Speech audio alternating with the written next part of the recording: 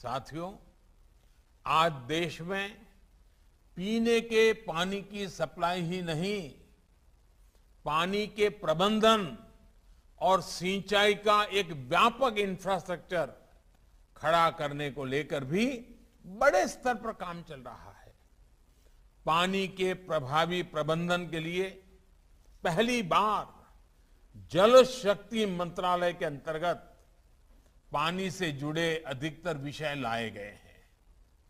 माँ गंगा जी के साथ साथ दूसरी नदियों के पानी को प्रदूषण मुक्त करने के लिए स्पष्ट रणनीति के साथ काम चल रहा है।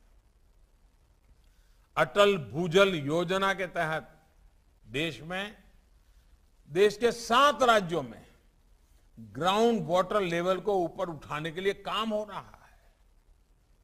बीते सात सालों में प्रधानमंत्री कृषि सिंचाई योजना के तहत पाइप इरिगेशन और माइक्रो इरिगेशन पर भी बहुत बल दिया गया है।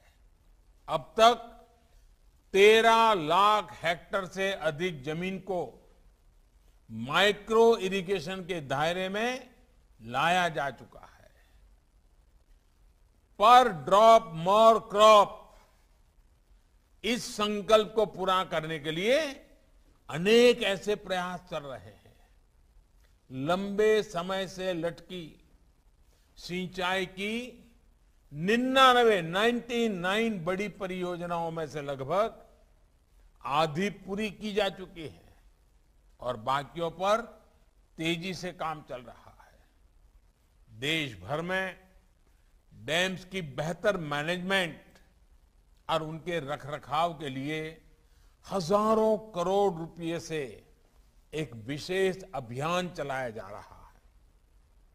इसके तहत 200 से अधिक डैम्स को सुधारा जा चुका